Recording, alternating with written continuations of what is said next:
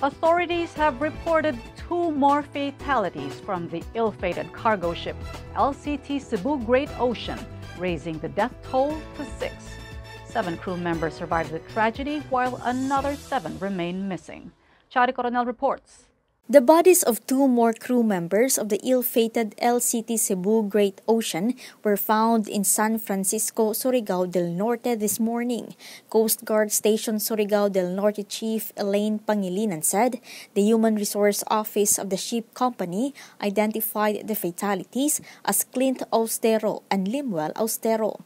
The addresses of the two are yet to be identified. As of today, fatalities rose to six, including two Cebuanos who were identified earlier. Seven survived, including two Cebuanos, while the other seven are still missing. Coast Guard Surigao del Norte earlier reported that the LCT Cebu Great Ocean was from Agusan del Norte, operating at the Agata Mining Ventures Incorporated, before the tragedy happened last Monday.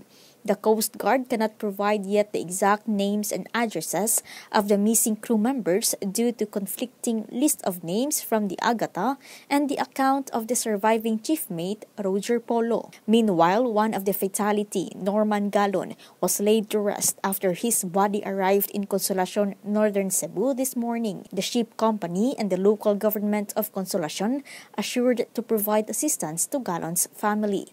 Joji Villanueva, one of the survivors, has finally reunited with his parents. Talisay City Mayor Samsam Gullas earlier said that the city will provide assistance to Villanueva's family. Chari Coronel, Sunstar Tonight.